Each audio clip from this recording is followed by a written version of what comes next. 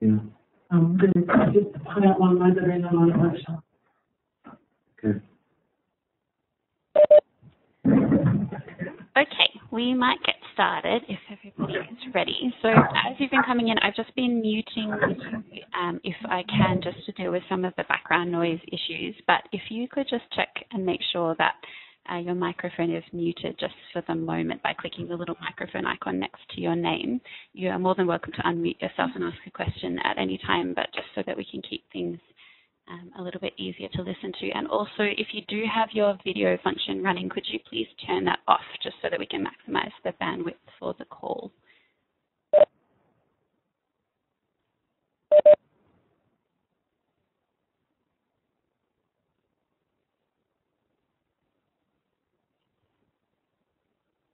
All right. And actually, if someone could unmute themselves and just let me know that you can hear me and also that you can see my screen with the Opterra dashboard on it. Hearing you well, and we can see the screen, Mel. Excellent. Thank you, Tom. I'm saying, no, Who was that? Sorry.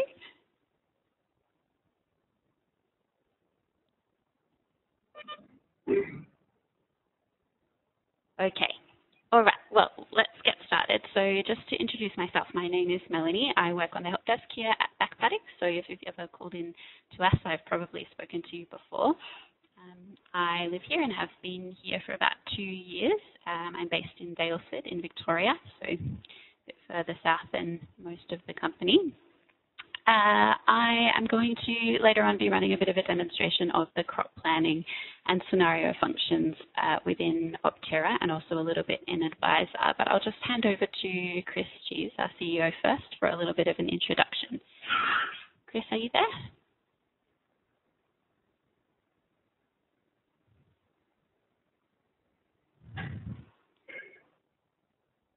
Hello, Chris? Hi. Hello. you there, Mel? Yes, I can hear you. Fire away. Excellent. Excellent. Good morning, everybody. Um, so I'm actually dialing in from a mobile phone at the very bottom end of Tasmania. So it'll be really, really interesting to see how the mobile comms goes. But I just wanted to do a um, a very quick intro. Really, I guess just has joined the meeting.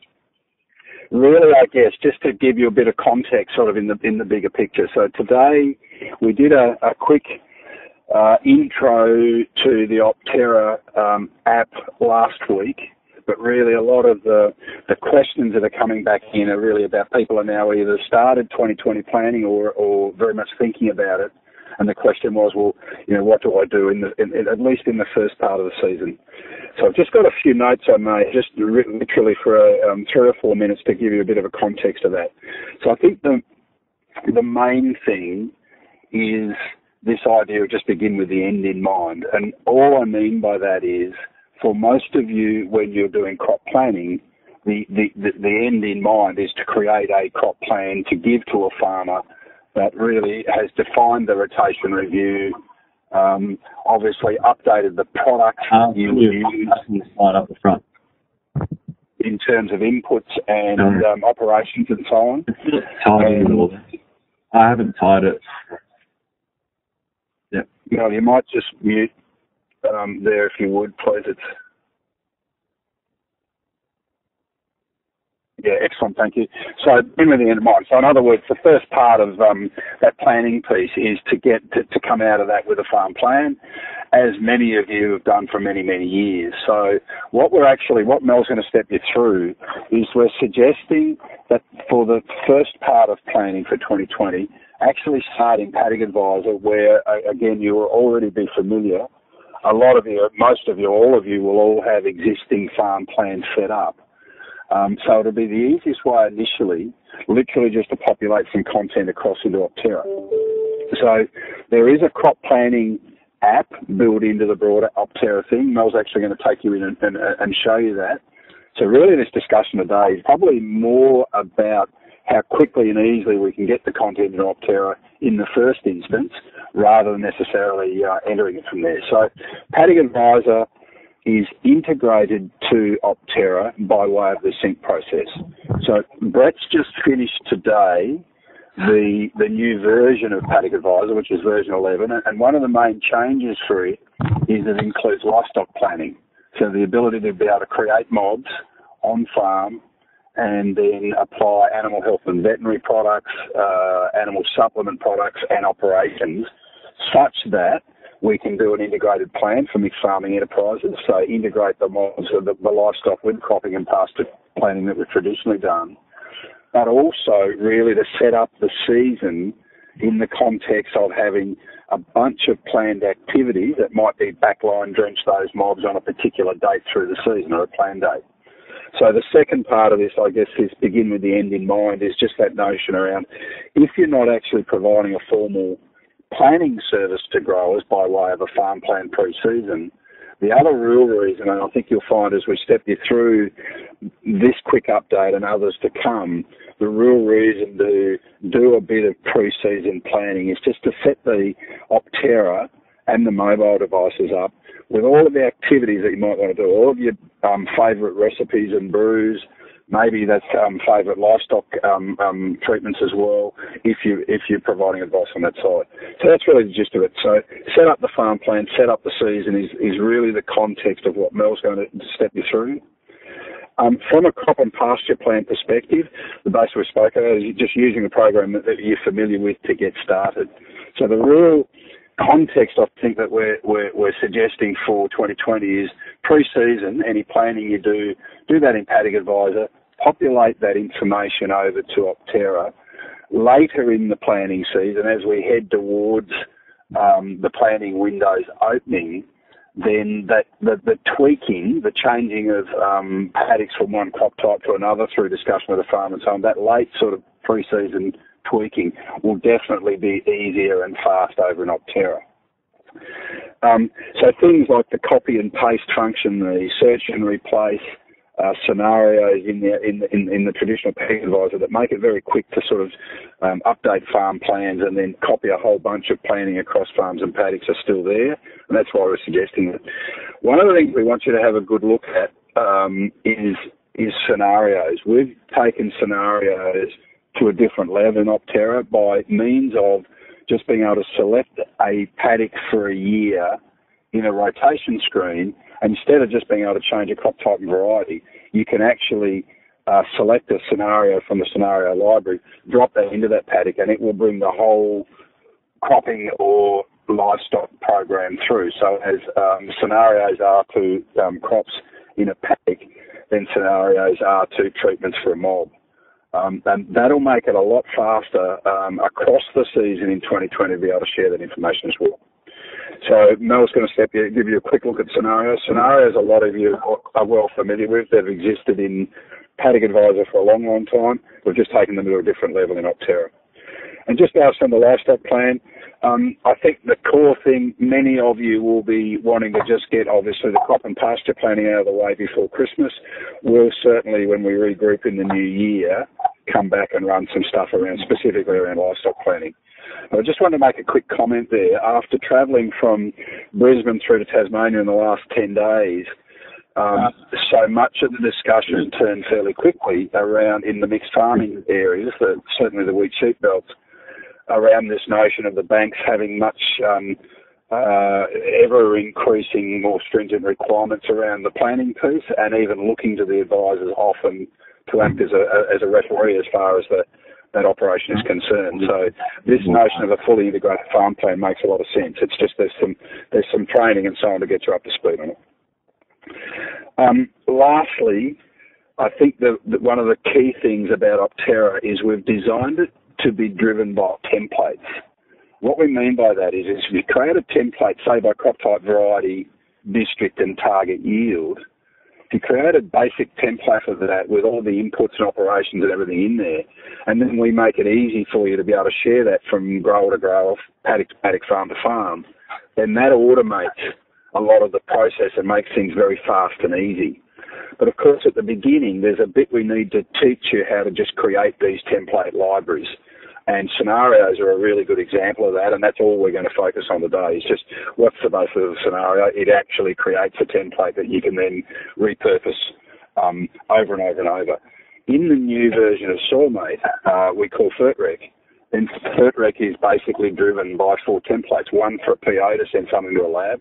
Once you create the half dozen templates you need, or, or we assist you to set them up, then it becomes really, really fast after that. But the point being is there's just a bit of work to um, to do to set them up initially. Hopefully, if Mel's sort of using that as a bit of a theme when she steps you through, um, again, these are pretty short and sharp sessions, um, so we're not trying to cover too much ground. And on that note, I'll hand over to Mel. Thank you. Great, thanks, Chris. So on that note, I'm just going to switch uh, my sharing over to Advisor for now. No, you might mute me out too if you would please, Oh, so I'm not sure. giving you feedback. Yes. Uh, mm, I actually don't have that option, Chris. I think because you've dialed in, so you might need to just mute your audio on your phone. But it's not too bad at the Okay, moment. shall I do? Yeah. No problem. All right. Muted. So we're just going to start over here in Advisor, and um, I'm going to just start off by covering some of the scenario functions that you already have available to you in your current program, um, just as a bit of a refresher. Um, and then we're going to move on to what's changed in terms of scenarios and how we're going to be using them in Opterra. Um, but I guess the first important point is that all of the uh, the additional scenario functions will be available to you with the release of the next advisor update, which will be the latest on Friday, but very likely today. So if you're logging in at the moment and you can't see some of this function, don't panic. It's coming very shortly. But just to begin, so um, I'm just going to go over loading a scenario um, into the scenario manager. So the idea would be that you're using the scenarios as templates. So if you've created, for example, um, this plan for this paddock that you would want to apply to a number of different paddocks and, and farms and even across various client files, uh, you can see that I've added here some um, fertilizers, sprays, some operations, everything's available there and I want to copy that so that I can apply it as many places as possible. I just use this function up here, load selected zone to scenario. Then I just enter a scenario, scenario name, so I'll call this one early 2020 plan. And that's all I need to do with the update of uh, Advisor that is uh, imminent, you will then be able to jump in here to manage your scenarios. So I'm just going to click on this little arrow in the top toolbar to the right of Cropping Scenario Manager. It's going to take me into the Scenario Manager screen. So this is my cropping scenario up the top here. And if I want to open it um, so that I can see what's going on, I just go to File and then Open or Edit Scenario File and then I double click the scenario. That's going to open up all of my scenarios here so I can go in and edit them if I want to. I can make any changes that I want and those changes will be automatically saved. Um, as you can see, this scenario that I just added has populated here, so that one's available now in my scenario manager to drop in wherever I like. Once I've made any of the changes that I need to in my scenario files here, I would go back into the scenario manager tool. Um, I'm just going to delete my existing scenario file now because I need to have a blank one for the beginning, but you'll be doing this for the first time. So all you'll need to do is click your scenario file, which will already, um, it will already exist within this list because when you uh, have Advisor installed, it automatically comes with a scenario file for you. So you just need to click it. You need to reset the sync clock up here. Yes, on the prompt. And then you need to sync this file. So similar process to the first time that you're syncing a client file from Advisor, just in a slightly different place. So that's going to sync through. And it's just going to take about 30 seconds or so to process before it's available in Opterra. So I'm going to close out of this and then I'm just going to jump to share my Opterra screen again.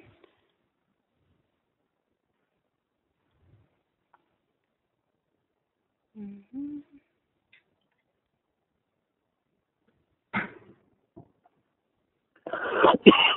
All right, so back over here, um, if you've had a, a, bit of a look at the platform already, this is the dashboard where you end up. Um, the farm that I'm working in at the moment is this one up here, but I could change that to a different one if I needed to. Uh, where I'm going to go to have a look at these scenarios that I've just synced is crops and pastures here, and then into Scenario Manager. I should then have all scenarios selected here, and in just a second, once it processes, I should have this scenario file available to select from this dropdown. Here we go. And here I have all of those scenarios that you could see in Advisor to select from. So if I select this barley one that I've just created, I can view the details in here so I know what's going on. I can also share this scenario with another user. And to do that, I click on this share selected scenario button over here. And all I need to do is, if I've got a corner post set up with uh, other people within my organization, I'll just be able to select them from here. But I can share this with literally anybody uh, who has access to Opterra by just typing in their email address over here. And then OK. And then I should get a success message down here. And so uh, that user will then receive an email with an activation link. And once they've activated that link, they will have that scenario available to them to use within Opterra as well. At the moment, uh, the scenario manager is that's the extent of what you would do in here. You can also print or export your scenarios if you wanted just a static copy of what's included in them. But where these become useful and what we actually want to do with them is uh, to jump into rotations up here. So I'm just going to select a farm that's associated with this client file that I'm in. Um, and then once I've got all of my scenarios loaded in that I would want to use, I can literally just drop them into my rotation over here. So I can select this one from here, click yes, and then it's going to apply that whole scenario to that paddock. As soon as I've applied that scenario to this paddock, um, if I opened that file back up in Advisor, all of that information would also be available there. So um, Advisor will force you to sync the client file when you open it. Um, there's no sync process that needs to happen on here. That's an automatic process. So that's now available for me as a rotation, both in Opterra and in the Advisor program as well. So we could complete the whole rotation once we've got those templates set up in, you know, four or five minutes for this farm. If, on the other hand, you were looking to do some more traditional crop planning, um, paddock by paddock, uh, you've got more specific information that you wanted to include, we can also do that within the Opterra platform in a very similar way to uh, the way that you do crop planning in Advisor. So I would go up here to crops and pastures and then crop planning. I'm going to select 2020 up here my farm is here. Um, I already have the farm that I want to use existing, but if I wanted to add another farm or another trading name from in here, I would just go down here to add new and then type in the name. So I'll demonstrate that process just by adding a new paddock. So if I've got a farm and I've got, uh, uh, sorry, a client file and a farm already selected, I might just add a new paddock here. Um, I'll call this one paddock 12 for now, and I'll save and that's a new paddock ready for me to enter a plan into. So the first thing that I need to do, similar to Advisor, is just go up here to Add. I need to add a new management zone. I select my crops. All of this information is uh, coming from your master database. And so as long as you've got that synced up, you'll have everything you need in here.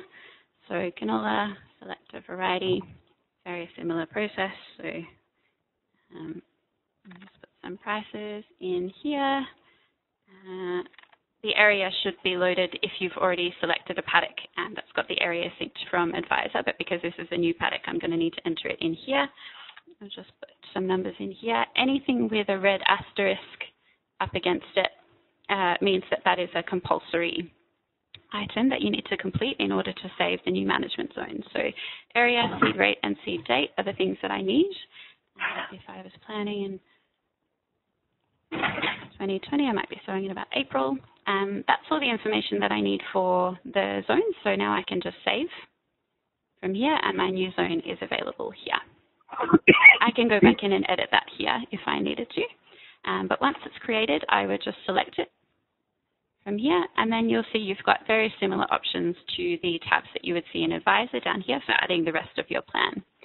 So the blend under sow, seed dressing, irrigation and crop nutrition are all very similar in terms of how we add that information in. So they've all just got these add buttons up here.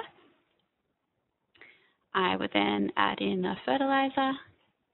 So just click here and then you can either type or uh, you can select from the drop down.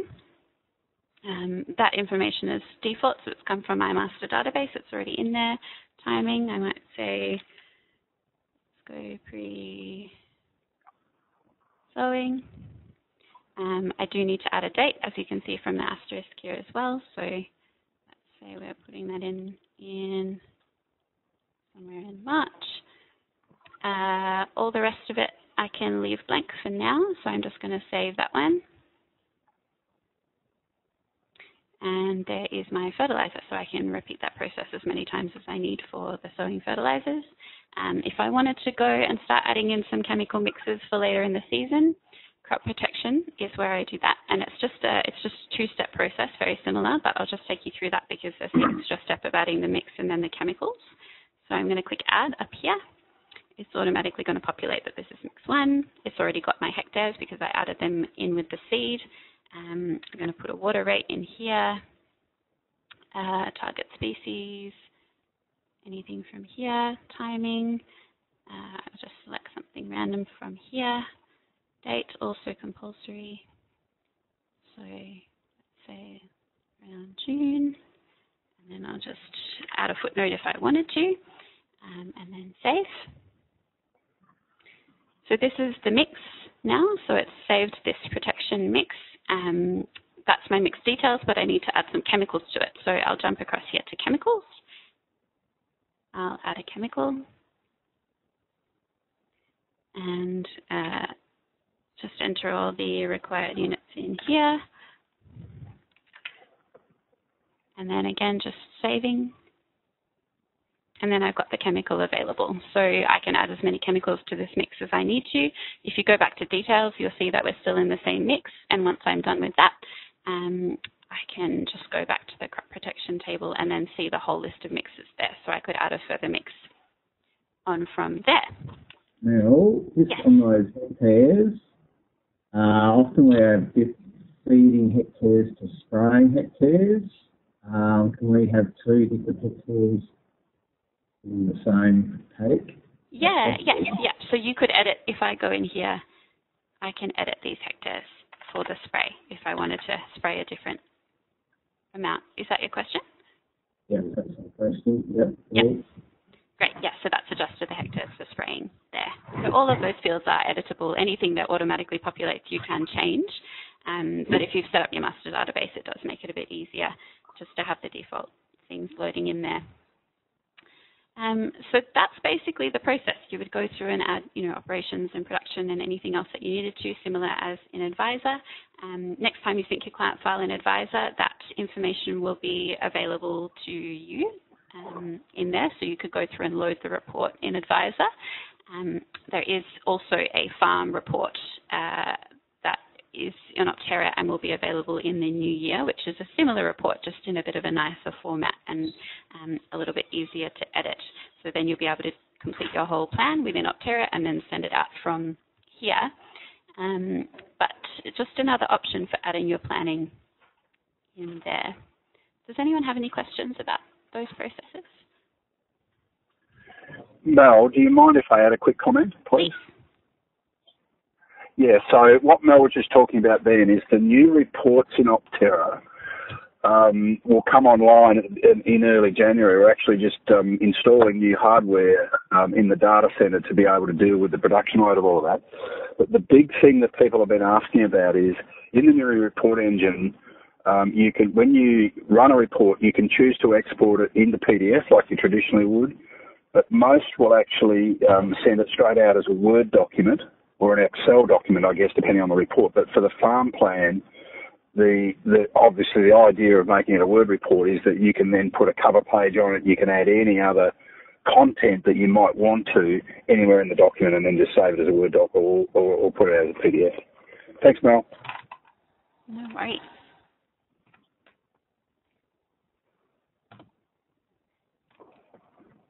Any any questions about any of that? Anything that you are hoping to be able to do, or um, anything that wasn't clear?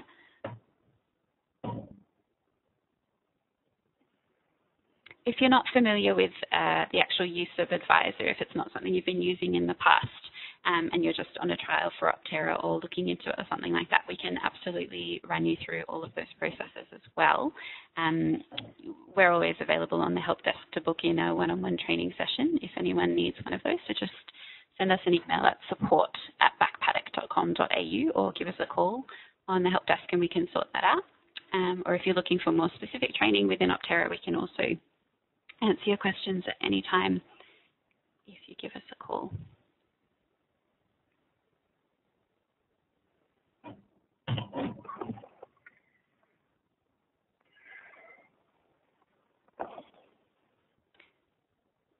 But if there aren't any further comments or questions, uh, just remember to unmute yourself by clicking your microphone icon if you did want to ask something. I think other than that, Mel, um, we're intentionally keeping these things really short and sharp. Mhm. So if there's anything you've seen there or uh, whatever that you want to um, follow up on, yeah, as Mel said, just just give us a hoot.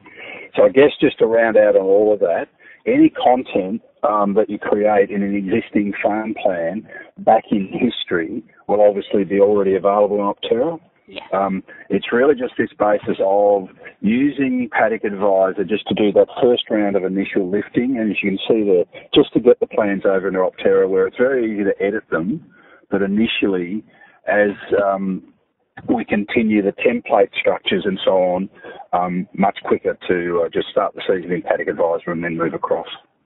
Alrighty, thanks guys. Thank you. Thanks, Chris. Thanks for coming, everyone.